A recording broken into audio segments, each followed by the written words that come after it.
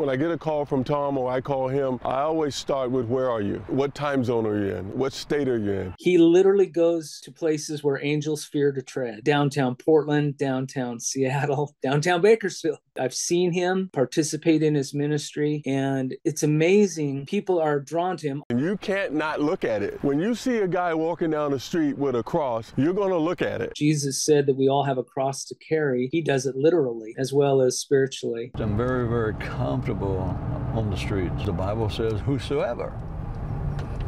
And whosoever is everybody. Everybody needs Jesus because we're all in the same category. We're, we're either unsaved or we're saved. Unsaved sinner or saved sinner.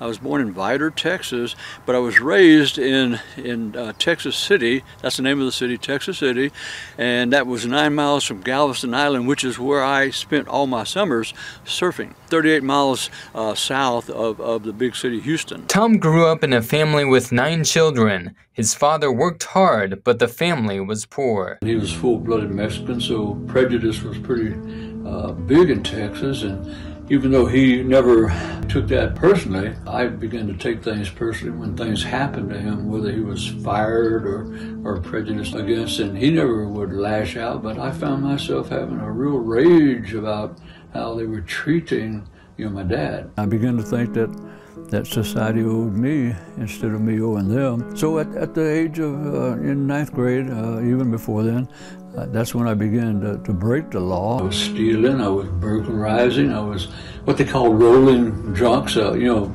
putting knives to drunks and taking their money from them. And so I did that because I wanted to make money. I wanted to have money. And, and funny, the reason I wanted to make this money was to help mom and dad out so that they wouldn't have to have the burden of trying to take care of me. Still, that rage was in me, and eventually, you know, it got to me to a point where I began to think about doing things that I wasn't supposed to do, and that led up to a bank robbery. Got away with that bank robbery, took off, ended up in Las Vegas, Nevada for a season, and, and then went to Monterey, California to go surfing and everything, you know, like I wanted to do. But when you when you when you're robbing, the FBI's after you. Uh, they have all the time in the world to uh, track you down and find you. And, and, of course, I thought I was, you know, not never going to be busted. But I ran out of money, so I began to uh, rob people in their homes. He found a home he thought he could rob. Knock on the door, hey, can I use your phone? My car broke down, and some people are gullible. They, they, they let them come in. And when, when that happened, I robbed them. I tied them up just like you see in the movies and stuff like that. And I thought I tied them up enough and, and stole their stuff, and I needed the car, so I stole their car. As I was driving away, I was saying, all right, I'm heading back to, you know, uh, San Francisco Bay Area and then back to Las Vegas. But I looked in the rearview mirror, and guess what I saw? Squad cars with the big old lights blaring and glaring. And as a result, uh, you know, I knew that, that my time was up. Uh, they they surrounded me and they you know do do what they do good and and put the handcuffs on me. And after that, of course, that's when jail time and then prison time took place. I'd lay on my iron bunk, you know, the, the bunk at nighttime, thinking about my future. What was I going to do? Uh, was this really the end of it? I mean, I, I saw no future because, you know, being a, a, bank robber, being an armed robber, I mean, that's something that people don't laugh at. And, and I really felt that I was at my wits' end. I really felt that I really had nothing to do except to do my number, do my time, get out, and then what? Well, I'd probably have to continue stealing and robbing, and you know, and, and, I didn't want to do that. I wanted to be a free person. Psychologists in prison labeled Tom and other inmates atavists, or genetic throwbacks, meaning they had an extra X chromosome that makes them prone to violence. I couldn't buy that. I didn't think that I was just an atavist, you know, a subhuman. I, I had feelings and I uh, cared about people. I cared about certain inmates in prison, and, and yet I, I still didn't see if there was a future. A group of Christian athletes associated with the Bill Glass Crusaders, they came into the joint and about 400 of us decided that we would attend that event in the gymnasium and we listened to what they had to say. Here were uh, Christian athletes who said they were the best in their field football, basketball, uh, weightlifting, whatever it might be. We'll bring in NFL players, jugglers, NASCAR drivers, whatever. And, and we go to the yard. We we uh, nothing wrong with having chapel and those things on prison and jail and juvenile sites, but we go to the yards. Um, these men and women don't have to come to us but we draw them in with these entertainers. And then they actually will give them a, a short message that will say, Hey, God changed the direction in my life and he wants to change the direction in yours. And how many of you would like a new direction? Just raise your hand. The founder of the organization, Bill Glass, was drafted by the Detroit Lions in 1957 as a defensive end. Played a few years with the Lions and then played with the Cleveland Browns. Toward the end of his football career, he started speaking at evangelist Billy Graham's crusades. And Bill Glass asked him, Hey, what do you want me to do? And Billy Graham said, Man, get in the game. You can start doing crusades just like I am. We're on the same team. And so, so Bill Glass, uh, 54 years ago, started doing citywide evangelism crusades, just like Billy Graham, all over the world. About four years into doing those citywide crusades, one of his good friends who was on the ministry's board said, Bill, you keep preaching that Jesus says we're to be fishers of men. And he said, the best fishing holes in all of the world are jails and prisons. These men and women are in crisis every day of their life looking for a new direction. He was creative in reaching people who are in the prison who wouldn't be the ones attending the chapel service. So he went to, you know, held events that would draw people in that normally wouldn't, you know, be going, you know, to Bible studies or or worship services. Football star, Dallas Cowboys star, I believe, Roger Staubach, coming in and like throwing passes with incarcerated guys and then getting up and offering his testimony, or um, Olympic weightlifters coming in and doing weightlifting demonstrations right before you know to, to sort of get interest uh, from the people gathered on the prison yard, and then Glass would get up, get up and give like an evangelistic talk. At the end of the crusade, they gave the altar call, and of course, like all inmates, you put on this front. And I told my buddy next to me, his his name Al, my best friend in prison. I said, "Well, let's get out of here." And so we both started walking down the bleachers and got toward the bottom. And then all of a sudden, though, something turned me in the direction of where that altar call was, and it was like it was like a force. It was like something that just beckoned me, you know. And it wasn't uh, intrusive. It wasn't harsh. It was something just a, a gentle nudging and yet powerful. And all of a sudden, I found myself walking down to the altar. Didn't know what that was. Didn't know what to expect. But I went down to the altar. Al followed me, and then we just you know, stayed there as they began to talk about it. And what happened is I accepted Jesus Christ as my Savior into my life February 9th, 1973. I felt the difference immediately. And something happened to me. I, it's like I got hope again. It's like a, a brand new lease on life. It's like I was going to get a second chance, an opportunity. Tom got out of prison in 1975 and got a job quickly. He went to church with one of the prison guards he became friends with. I met Tom in church. Um, he came to church with the prison guard that he met in prison and his wife, and his wife and I were in choir together. So he would sit with them. And then uh, one day I noticed him, so I went and sat nearby. And that was how we met. I went to church, and the church we went to, First Assembly of God Bakersfield, California, I met a young girl in the choir named Jeanette. And, and, immediately we liked each other. She didn't know anything about me, and well, she was an inquirer, so I figured she was a, uh, you know, a Christian all the way. But some reason we were attracted to each other. We started talking, and then we started dating. I shared with her what I was and where I came from, and, and that, that didn't faze her. She decided, yeah, Christ Jesus really did make a change in your life. So we fell in love, and we decided that, you know what, we need to get married because that was the right thing to do. And on February 14th, 1976, Jeanette and I decided to get married. He was the new guy in church. And so I think everybody knew his past uh, up to a point. Um, he says, even now, I don't know everything that ever happened uh, before he became a Christian.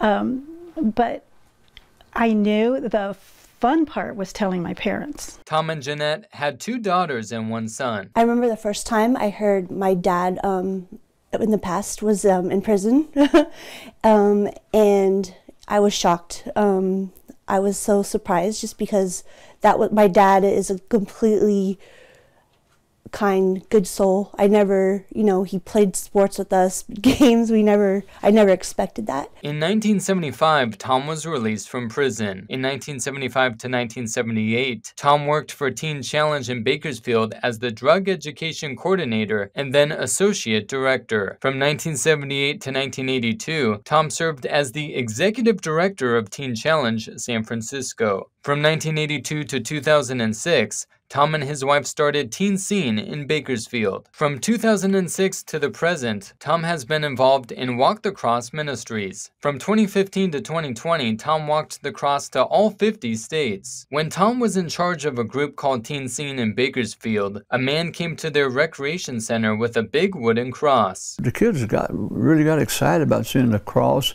and he shared a little bit about why he was doing that. I watched that, but I wasn't interested in, in, walking across at the time because I was uh, busy with these kids, not only in the schools, but also at our center. I remembered that. In 2006, it's as if God said, Now I want you, you've done what I wanted you to do here with these kids. Now I want you to take build a cross and take that cross all across California. He gave me the dimensions 10 feet by 5 feet, of course, a 4 by 4 wood and put a wheel on it and ended up 60 pounds. Is that the dimensions of the cross that Jesus carried and was crucified on? Most people who have studied that feel that this was the dimensions. Of course, it went down into the ground probably four feet, so it was probably 14 feet, but he was probably about this high off the ground when he was crucified, about mm. 10 feet. This is a 60 pound cross. You get used to it. He's pretty strong to be carrying that thing around. I lifted up one day. I thought I was gonna get a hernia. Before the my dad goes crosswalking, um, yeah, he's very he's very energized, excited. Um, he's ready to go. He's just he he's just has this look on him that he's just like, okay, I'm happy. I'm ready to go. Let's do what God told me to do. Walk the Cross Ministries began 2006. After I built the cross, it was in March. The rain had stopped. It had been pouring rain in February, so I couldn't actually walk the cross. But on March the 1st, no rain, so I went downtown Bakersfield with this cross. And I said, well, okay, let's see what happens, Lord. And so I started going to the, the courthouse, to the, to the uh, council members' chambers, went to the police department, hoisted this cross upright, and began to pray loud because I prayed loud and long begin to pray loud and long that God would bless these elected officials to do what is right in His sight for the sake of the people living in our city. I walked across, but the most important part is my prayer talk to the Lord for the people that I see, whoever it might be.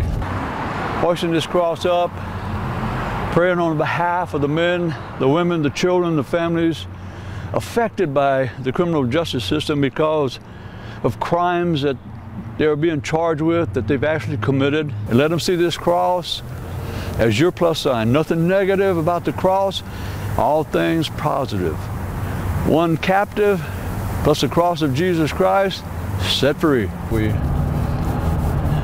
pray outright. We pray uh, long and loud. I pray audibly because I want people to understand I'm praying for them. I want them to know what I'm praying, that I'm not asking God to condemn them or uh, rain down fire and brimstone upon them, but to share forth and send forth His Spirit of love so that people will understand how much God actually loves us. For our thin blue line, keep them safe and secure, watch over and protect them. By your mighty name and through your great power. I usually go 10 miles in a circular uh, uh, motion.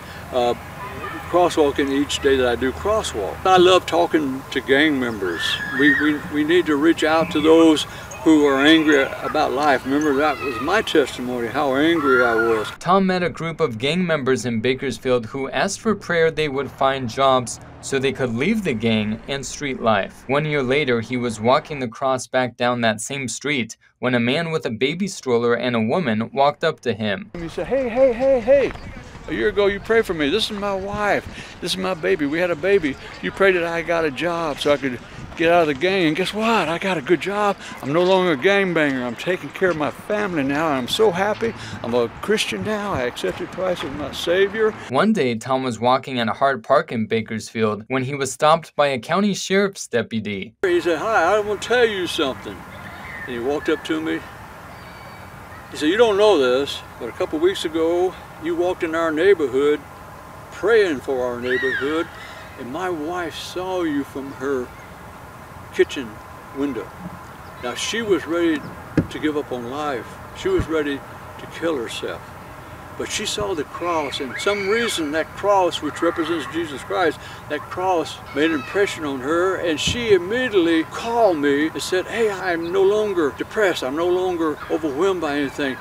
I, I, I, saw this guy with a big old cross and, and God gave me living hope now so I'm I'm gonna live I'm not gonna have to kill myself I feel really good and this deputy sheriff was crying I started crying people can identify with his his past struggles before Christ and he's uniquely equipped to speak on their level uh, because of what he's experienced himself and so you know not just anybody could do what he does hello how you doing huh Hey, God bless you. Have a blessed day. Jesus loves you. As each year passed by, God began to put on my heart to go to different cities in California. So I began to go to Southern California cities. Hollywood, California was perhaps my third or fourth destination. Had a great, great, great experience of people responding to the message of the cross, which is about Jesus Christ, of course, in Hollywood, California. And I said, wow, this is great. Other cities will do this too. So in the end, so far, 160 California cities we've been able to travel to, hoist this cross up, pray at the city halls, pray at the government buildings, pray at police stations, asking God to start great revival in the midst of all the people living in these cities. Surround this city, your grace and mercy. Tom has gone to the Hearing Aids Today store in Bakersfield for years to pray with the owner, Rick Cheshire. When I found out that, you know, he was really in need of funding, I, I was I was surprised and I was happy to be a part of that. Um, and then later on, as that progressed, I found out about his desire to walk the cross around the entire nation. But at that time, he had this little blue truck, and every time he pulled up, to the office because he'd always come and pray with me. He's been such an amazing blessing in my life. But he'd pull up in that little truck and I was always like, gosh, I wish he had a better truck. He came in one day and he brought in a paper and it said, and it said crosswalking the, the 50 states.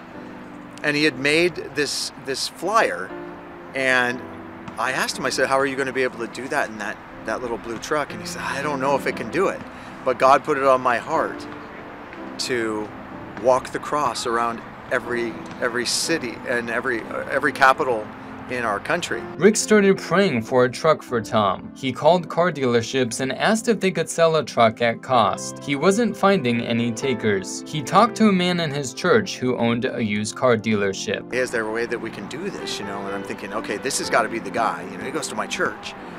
And he's like, I really don't know how you know, I could make that work. And, and he looked out the window and he goes, well, what about your truck? And I was like, wait, what? You know, because I had, I had paid that truck off and I was thinking, you know, I'm finally being fiscally responsible and thank you, Lord. And I, I, I would literally get in that truck every day and just thank the Lord that I had a truck that was paid off, that I was fiscally responsible, because cars had been a weakness of mine before. I never paid off a car before I'd buy the next one. Um, and the guy, I said, well, that truck's too, you know, it's a short bed. That could never carry across. And he said, well, okay, um, what about a, what about a um, bed extender? And I was like, what? And so I left there and I was thinking, trying to shake it off. Like, uh, that's, you know, the guy's not going to help me. So I got a little upset, like thinking, well, this guy's a Christian. He's supposed to help me. And as I'm driving off, the Lord just said in my head, and I just, it was so loud, and all of a sudden, because I didn't want to hear him say it, but I heard bed or bed extender. And I was like, no way. And so I was like, that can't be possible. I pull over and I Google bed extender, like, this isn't, there's not going to be a bed extender that work, and it's the perfect bed extender. And so right then I was like, oh my gosh, I have, I have to, the Lord just showed me that that was the truck. And I was like, I have to go home and tell my wife this car truck that we paid off that we have to give it to a to Tom Alexander who's walking the cross around the, the entire nation. I remember coming home and he's like, "Hey, my friend just gave me a truck," and I was like, "Wait, what?" Um, it always amazes me when I hear people, they just I don't know, they do what the Lord say and say, hey, give Tom a truck. And to see my dad's face, just, he's just like so happy.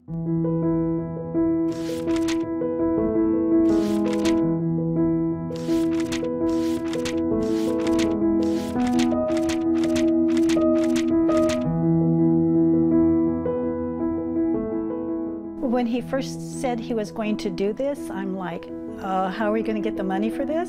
And I think one of the things he's always said was, if it's God's will, it's God's bill. And so um, I didn't quite trust all of that um, in the beginning, but as time went by and we didn't get lost and the car didn't break down and there was always room in the inn wherever we stopped, um, I realized that, you know, God really was in it. And so it got easier for me every year he'd pick maybe nine states that we would do a, a bunch together. Um, but the minute we got home, he was already planning the next one again. I'm like, we just got home. We ran out of money. What are you talking about? So, but it was always there, right when God wanted us to go somewhere. I didn't expect um, there to be really moments at gas stations. I thought it would always be while Tom had the cross on his back, that he would, you know, meet with people and really have what he calls church on the street. But so many people would come up and they'd want to touch the cross and they'd want their picture taken with it. And they'd say, you know, after seeing this, after praying with you, after talking with you, I'm going to go back and I'm going to get back involved in Sunday school at my church. I'm going to maybe start that small group. Never been out of California um, except for one trip for work before I got married. But going to every state and, and just talking to regular people, the waitresses in restaurants, um, like I said, at the gas stations, at grocery stores, uh, most of the time Tom walked the streets by himself. Sometimes I came along to document it, so I got to listen to the people that would talk to him.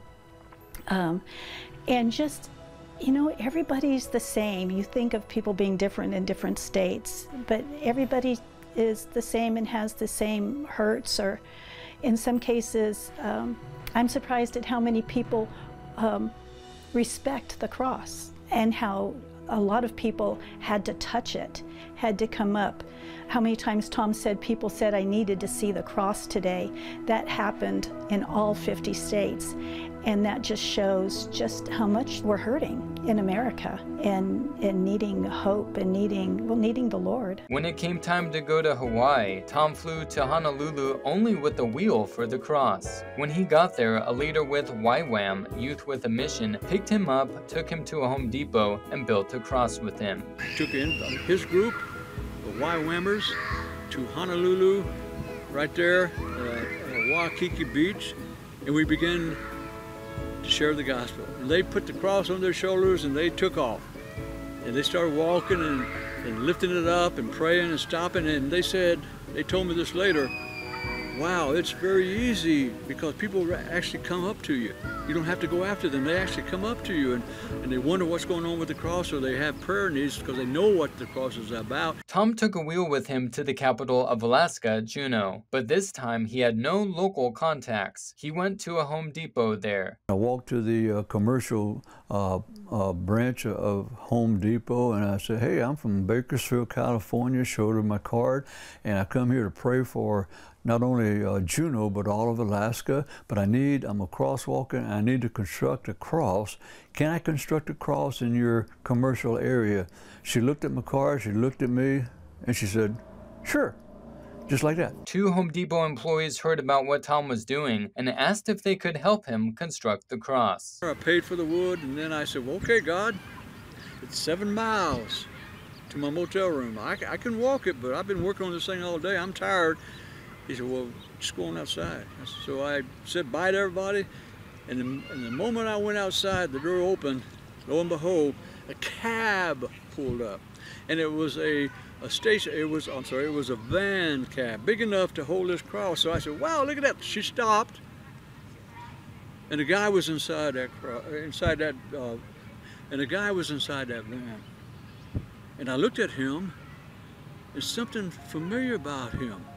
Earlier in the morning, 7.30, I walked outside my motel room waiting for the cab and I noticed a young man standing oh, 20 feet away from me and he looked at me and smiled. I looked at him and smiled and beautiful day today in Juneau. And, uh, and he said, yes, it sure is. Have a great day. The, the usual greetings that we do. And as I was waiting for my cab, he'd look at me, I'd look at him, another, not another word. Cab came, picked me up, and of course, constructed that cross, went outside, there was that cab.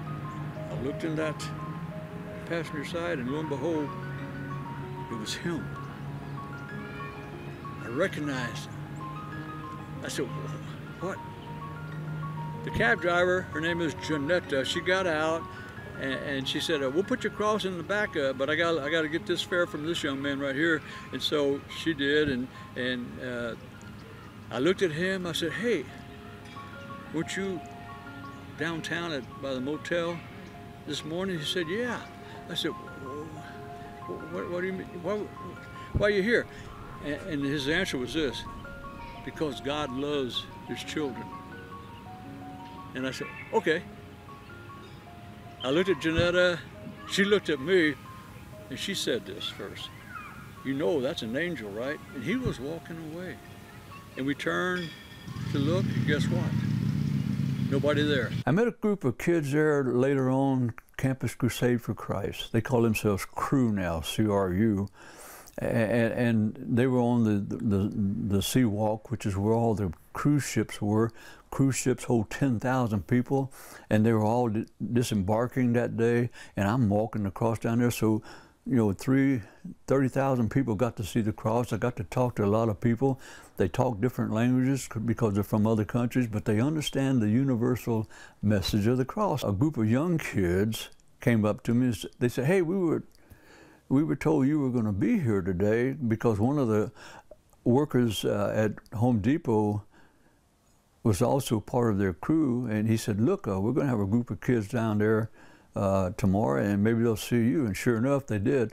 So they all came, and they got to walk the cross and hold the cross, and, and it really, really touched their lives that they got to do that, and how people responded to that on that, that sea walk. Tom started to take the cross to every state capital. In 2020, he had just nine left, the northeastern states. People will say, well, you won't be able to go because they're not going to let you in motels and they're not going to let you in their restaurants and they're not going to let you do this and that. But God, some reason, said, I want you to go. So everywhere we went, all of the last nine states, the door was always open for us to get that motel room, to, to eat that restaurant food, but more than anything else, to hoist this cross up in these cities and the state capitals and pray for people and share with people that Jesus Christ is greater than COVID. In fact, he's greater than anything. And all but one state let us into their motels. Vermont was the only state that would not let us stay in the motel because California was on a list of 33 states that were for, forbidden to go into Vermont. So we ended up going into a, a, a, city one hour away in New Hampshire. We stayed the night and then we actually prayed, hoisted a cross and prayed at the state capitals.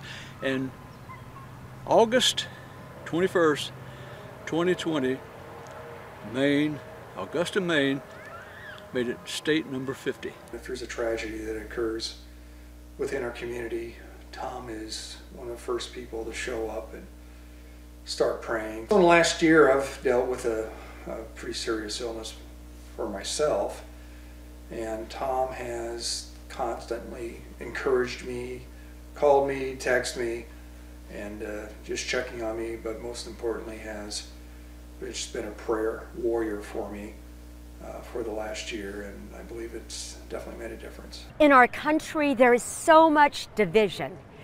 There are great concerns also. We face great challenges.